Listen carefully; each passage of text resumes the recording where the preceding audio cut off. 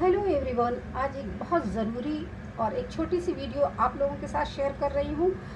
और ज़रूरी इसलिए है कि आज दूध के पैकेट सबके लिए सर दर्द बना हुआ है कि इसे डिसइंफेक्ट कैसे किया जाए, इसे वायरस मुक्त कैसे किया जाए।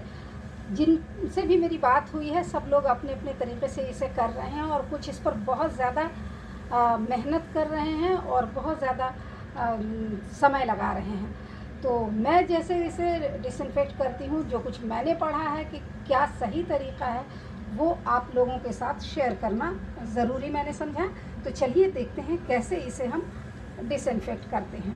दूध का पैकेट इस समय सबसे ज़्यादा सर दर्द बना हुआ है, क्योंकि बाहर से आने वाली यही एक चीज़ है जो रोज़ हमारे घरों में आ रही है।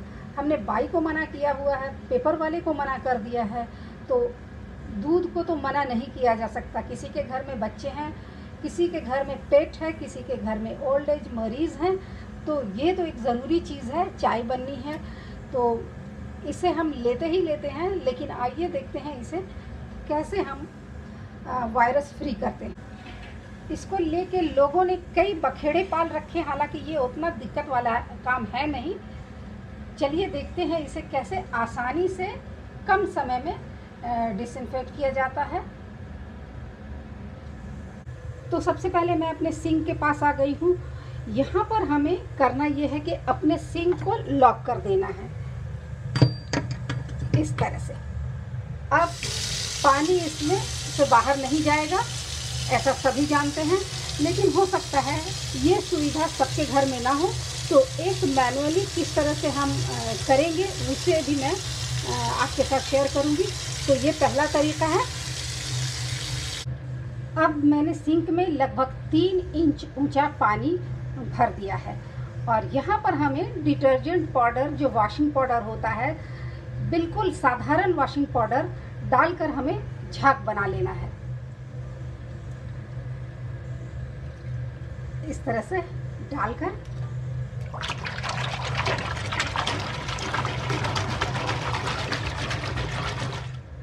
इस तरह से आप देख सकते हैं, मैंने पूरा झाग बना लिया है। अब इस झाग में हमें दूध के पैकेट को डाल देना है, इस तरह से। और इसे कम से कम 30 सेकंड तक या ज़्यादा से ज़्यादा एक मिनट तक अपने सेटिस्फेक्शन के लिए आप इसे यूँ ही पड़ा रहने दें। अब एक मिनट के बाद हम इसे उलट पलट कर अच्छी तरह से धो देंगे। यूँ तो इसे अब कुछ करने को इसमें बचा नहीं है क्योंकि ये पहले ही झाग में फूलता रहा है। देखिए, ये जो इन्फेक्शन है या ये जो वायरस है जिसने लोगों की अभी ज़िंदगी तबाह की हुई है, वो इस झाग में 30 सेकंड में अपना दम तोड़ देता है। इस तरह से वायरस के पंख बिल्कुल फट जाते हैं, उसकी पूरी बॉडी फट जाती है। और अब इसमें करने के लिए कुछ भी नहीं है। तो ये अच्छी तरह से हमने इसको धो दिया है और अब हम इसकी चाबी खींच लेंगे। पानी खुद ब खुद निकल जाएगा। देखिए, है ना, ये कितना आसान तरीका। और खा मखा लोगों ने बहुत ज़्यादा इस पर मेहनत और समय लगाया हुआ है। तो इसे जान लेना ज़रूरी है। और जहाँ ये सहूलत नहीं है, सिंक में उसके लिए मैं एक दूसरा तरीका भी आपको बता देती हूँ। अब हमें करना यह है कि नल खोल देना है और अच्छी तरह से पानी को निकल जाने देना है।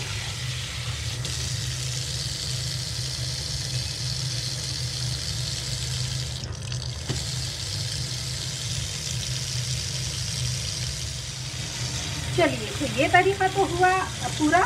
अब दूसरा तरीका देखते हैं।